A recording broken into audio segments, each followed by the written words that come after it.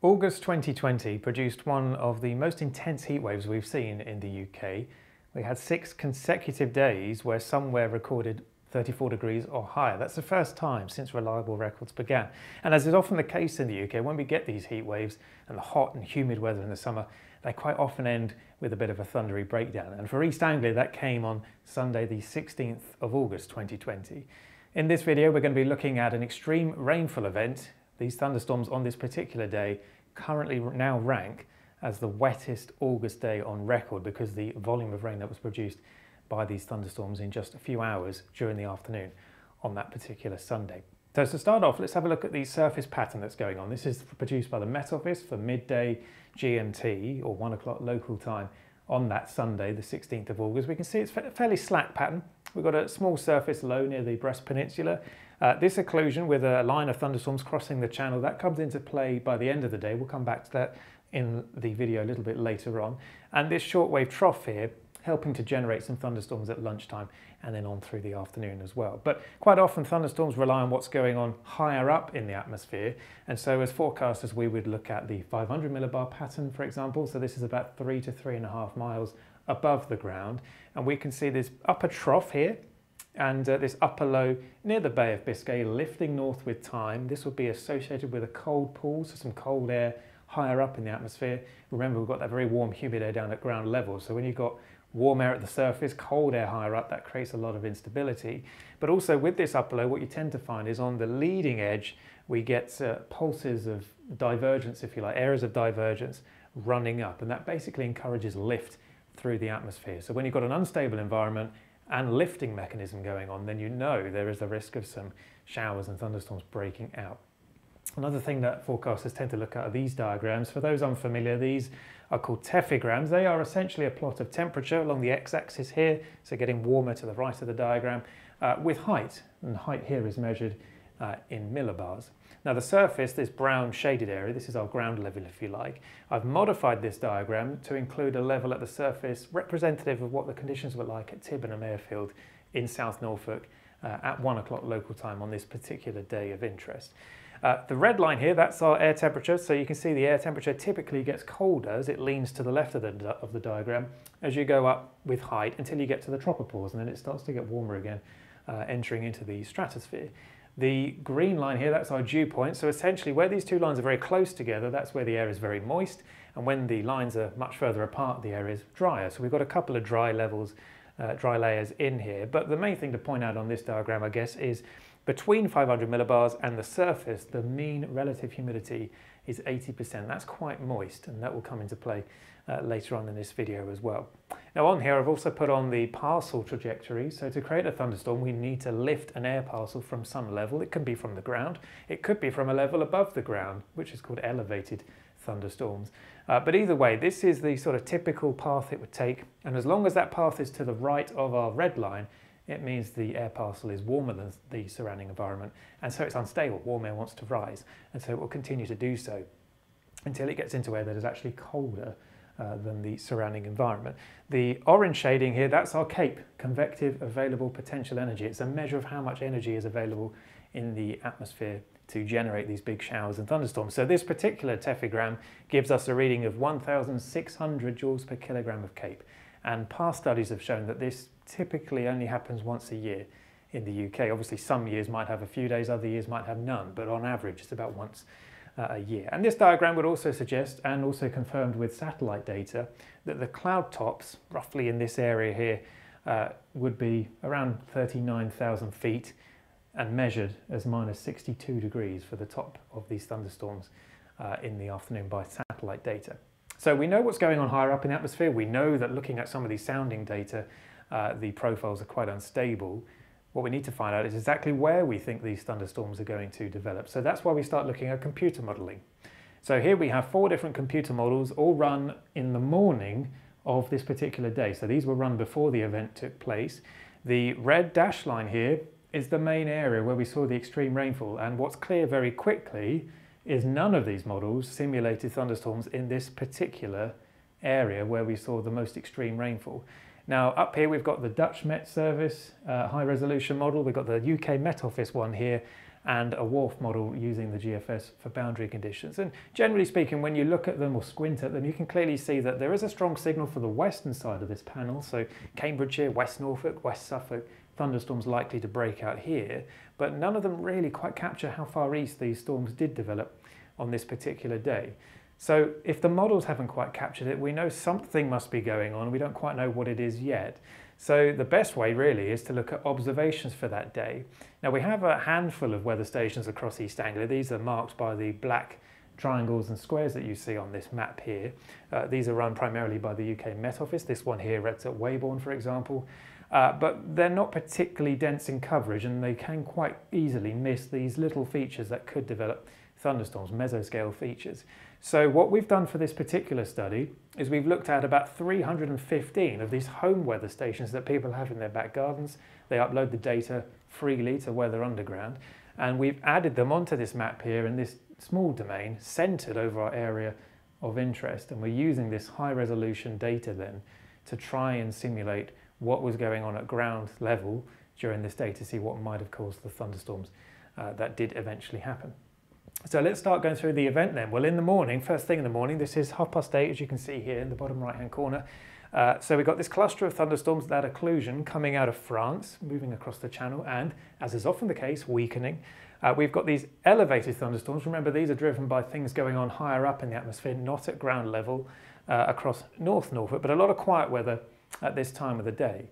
On the satellite picture, we can see this thick cloud here, thick high cloud showing up from those thunderstorms coming across the channel and these elevated thunderstorms popping off in North Norfolk. But again, at this stage of the day, a lot of quiet weather across East Anglia. Now, it was very humid. Temperatures were typically in the high teens. Dew point temperatures were also in the high teens very moist conditions, a lot of low stratus cloud covering the area through the morning.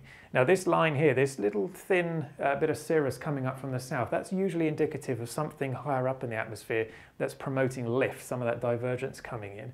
And you can see as this bluer coloured cloud starts approaching from the south, elevated convection starts firing quite widely across Suffolk and Norfolk. Our particular area of interest in this yellow area, that's where we start to see the first thunderstorm of the day uh, breaking out, which was quite likely elevated in nature, i.e. it wasn't because of what was going on at ground level, but because of things going on slightly higher up in the atmosphere. You can see at that time we have a sudden uptick in shower activity across much of Norfolk, and then they die within an hour.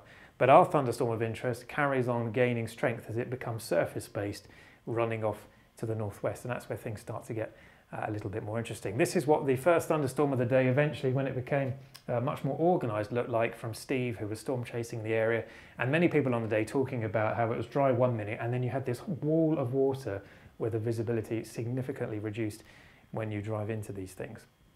So here's our meso analysis of what was going on on that particular day. So this is using all of those weather stations in the region. This is a plot of temperature uh, and pressure, mean sea level pressure at 0.1 millibar intervals. There's a hint of a small surface low somewhere in the Diss area, uh, but clearly the warming is strongest across East Suffolk. That's where we saw the cloud breaks uh, first off in the morning. Uh, and then by midday local time, it's warming up quite nicely to the southeast, 23 degrees in Suffolk. Notice we've got this sort of dent in our temperature in this general area, and that's because that is where our thunderstorm is, the rain cooled air coming out of this thunderstorm, cooling the air down uh, at ground level. By one o'clock, our thunderstorms are pushing off to the northwest, affecting Thetford. They're still, though, developing new cells southwest of Diss. And again, that's where we have this lower temperature reading at, at, this particular time of day. Warming up still, 24 degrees in Ipswich, much cooler here. And earlier in the day, the winds were broadly northeasterly across the whole map. Now we're starting to see the winds pushing in different directions uh, because the outflow from these storms spreading out in different directions and where you get the outflow pushing out of these thunderstorms, meeting that synoptic northeasterly surface wind, that's where you start to get an area of convergence where the winds are meeting. That is what this pink shading here is showing, moisture convergence. Where these two meet, the air gets forced upwards and that creates new thunderstorm cells from the surface. So by two o'clock in the afternoon, our first cluster of storms all the way out here pushing into Cambridgeshire, but still new cells developing near Diss and this process continues through the afternoon. So again, you can quite clearly see this cold pool because of those thunderstorms, hotting up 25 degrees down in southeast Suffolk. And again, there's our moisture conver convergence still showing up near uh, the Diss area. By three o'clock in the afternoon, there's our first cluster of storms well out over Peterborough, but we've still got this line going up from Diss towards Watton, towards Swaffham. And again, very hot conditions to the southeast and this hot air extending up towards Norwich. Much cooler air here because that's where our thunderstorms, of course, are. And remember, because the hot air is over here and the winds are northeasterly, all of this is being drawn in to the area of where these thunderstorms are developing. So plenty of warm, moist air being continuously fed into the system here. There's our convergence at three o'clock in the afternoon. And then by four o'clock, still that line of thunderstorms. Now we're starting to see these other storms developing pretty much where the model suggested they would across West Suffolk and Cambridgeshire. So big clusters of storms here, but our particular line is still going. Uh, we're now many hours into this event and we're still building these storms. Five o'clock, still those storms developing in the same area, running off to the northwest, still that cluster of storms over Cambridgeshire. And here comes our, our occlusion, our big band of rain coming up from the south, which will ultimately suppress the air temperature and kill off these thunderstorms. But there's our convergence really marked now by late afternoon to the east of these storms. We're also starting to see other areas of convergence showing where the other thunderstorms are, are taking place at this particular moment in time. And notice how the air has cooled significantly where we've got that big mass of storms over Cambridgeshire. The winds have turned northerly as well, whereas we've still got an easterly flow of some sort into our little uh, low pressure area uh, near Diss. Now by six o'clock, big mass of rain coming up, but still these storms are firing in the same area, running off to the northwest. And then by seven o'clock, it's a mess. A lot of rain spreading up. Still though, we are trying to develop these little cells in that same area before eventually the whole thing clears off to the north. Much cooler in western areas, still quite muggy and warm in the east, but even here temperatures have come down quite a bit from the 25 degrees we saw earlier uh, in the day. So here's a radar loop of what happened. Remember, this is where we think storms kept firing. So the first storm develops, clears off to the northwest, but notice how new cells keep developing in this area and continuously run northwestwards over the same areas until eventually this big massive rain comes in uh, and uh, a lot of it then tends to weaken. So in a schematic form, this is how things looked before the event. Broadly a northeasterly wind across much of Norfolk. So here's Norwich up here, Diss um, down here. So northeasterly winds. Our first thunderstorm gets going, creates this big cold pool where the air is spreading out in all directions. Now on the western side, the winds are blowing out of the storm in the same direction that the background wind is blowing in. So you'll get minimal convergence here. But on the eastern side, notice the winds are blowing against this northeasterly wind. And so that's going to create our area of convergence, which is this yellow shading here. Now remember, we've got this corridor, very warm air to the east, that's constantly being blown into this area. So untouched, very warm, very unstable air being pushed into our area of convergence, creating these thunderstorms, and then they run northwestwards over Great Hockham, over Watton, uh, and so this process continues all afternoon with new cells developing and running over the same areas previously affected. Here's a cross section then from the Met Office radar network uh, from the Ingham site in Lincolnshire. So we're cutting across northwest to southeast through this line of thunderstorms. So the storms are developing in roughly this area and then they run northwestwards across the line. And you can see the brightest echoes with the youngest uh, storm cells here. This one at this particular time, right over the A11 dual carriageway with some very intense downpours. And each individual cell then weakens as they run away off to the northwest, away from our, main area where these storms uh, are developing. So how much rainfall? That's the key point of this whole study really. And for this, we've used a combination of radar estimates, but also over 100 readings from farmers who kindly supplied their rainfall measurements from the air. It's a very rural part of Norfolk. There's a lot of farmers, and luckily they have a lot of rain gauges in this part of the world. So the uh, rain gauges provided by farmers are the black triangles you see on the map here, and the red boxes are the official rain gauges. Clearly the bullseye here just south of Great Hockham over 200 millimetres on this particular map, but you can quite clearly see the storms start here and then run northwest across this map. Now the area of the most intense rain is actually quite narrow and it's certainly plausible that this could have shifted over Thetford, for example, if that had happened, it would have been a much, much bigger story, I suspect. Uh, but because it was over a relatively rural part of Norfolk, impacts were somewhat limited, as we'll see a little bit later on. Zooming into this box then, in the uh, most intense rainfall, the highest one of the whole day was from this Environment Agency rain gauge, 240 millimetres of rain in a 24-hour period, but most of this fell in six to eight hours. Uh, nearby we had 211. Now, this is from a tipping bucket rain gauge. This one is a manual rain gauge. Assuming they're both correct, the distance between these two, 500 meters would give you a rainfall gradient of 62 millimeters per kilometer. In other words, you could be in one place and it be completely dry, but a kilometer away, the other side of a large field, for example, and you've had two inches of rain. So this really highlights how intense downpours can be significant over very short distances when it comes to these uh, showers and thunderstorms in the summer season. Now, how does this rank with previous severe events in the UK? Well, for one hour, we had 84 millimetres measured by one of the farmers in the area.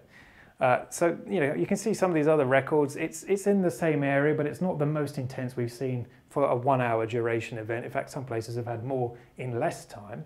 But when you get that same intensity over many hours, it really becomes quite clear by four hours, for example, 191 millimetres for this event. It sits in there as in the top three of the most intense short duration rainfall events recorded in the UK. Of course, this, this is dependent on rainfall gauges being in the right place to capture uh, the extreme events. But quite clearly, this is quite a remarkable event for rainfall. And so, because of this, it now sits as the wettest August day on record. Now, these use 24 hour rainfall periods, but clearly, this event, most of it fell in just six to eight hours. So, a pretty remarkable event. As I say, impacts were limited though. We did see some flooding of homes and businesses in the area, and uh, some of the roads were also blocked because of flooding for a time as well. Uh, Norfolk Fire and Rescue Service say they had 30 calls, mostly flooding related, from Watton and the surrounding villages. Remarkably, no lightning related impacts, despite there being 600 cloud to ground lightning strikes in this area. There were no impacts at all from that. It was during the peak harvest season, and many farmers talked about their rush to keep the grain stores dry because it had been one of the worst wheat harvests for decades. A very wet February, followed by a very dry May really took its effect on the wheat harvest in this particular year. But there were no reports of any hail, uh, talking to TORRO, and the maximum gusts that we've seen from these storms on this day, both from the home weather station network but also the Met Office network, only around 30 miles an hour. So yeah, there were some gusty winds, but nothing too strong that would cause uh, any major damage or anything like that. So just to summarise those key points, the first storm of the day was quite likely elevated, i.e. not dependent on surface conditions. So in theory, it could have developed anywhere. And we did see others developing in Norfolk as well, but they eventually did die. Uh, but it produced cold outflow, and that's what enhanced this low level convergence to the east of that first thunderstorm complex. And so that set this chain of events through the afternoon with new cells developing in the same area, running northwestwards, only for another one to develop and then run over the same area again. By the evening, the thunderstorms start to weaken because we had that big massive rain coming up from the south temperatures started to drop, and so we start to lose that instability that we built through the day. Now, it's quite likely because a lot of, about half of the rain that falls out of a thunderstorm actually evaporates in the air around a thunderstorm. Uh, but on this particular day, because of that very high relative humidity in the uh, bottom half of the atmosphere, for example, the fact that the storms were quite slow moving and the fact they were back building over the same areas all contributed to these very extreme rainfall totals that we saw 240 millimetres in six to eight hours. And it's quite possible the whole event could have been completely different had that first thunderstorm elevated, not developed in that place. Either this event could have been avoided entirely, or perhaps uh, it could have affected a different area such as Thetford. And that's probably why the models were struggling with this. They're good at surface-based convection, which is uh, dependent on surface conditions, key features, topography, for example, but also temperature uh, wind speed and convergence, that sort of thing. But they're not quite so good at elevated convection, and if they haven't quite captured the first cell of the day, that's possibly why they didn't do quite so well. Something to bear in mind if you're looking at your weather app, because obviously some models will tell you it'll be a dry day. And interestingly, if any of, any of you were looking at an app using those models for this particular day and you were in that red area that saw the 240 millimeters of rain, your app probably told you it would be a dry day, when in reality, you've just set a new record for the August rainfall um, in the UK. So just reiterating, apps are pretty limited uh, in their guidance, if you like, during these particular extreme summer thunderstorm setups as well. So that's a sort of brief overview, if you like, of this particular event. I'll leave you with another photo from Steve, who was storm chasing on the day with this rather interesting lowering uh, from this thunderstorm complex near Diss. Thank you for watching.